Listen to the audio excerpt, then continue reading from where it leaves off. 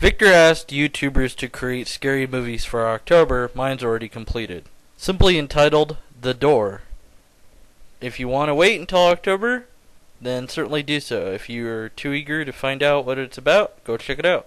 It's an Infinite Ninja production, and here's the address. Take care. Peace out.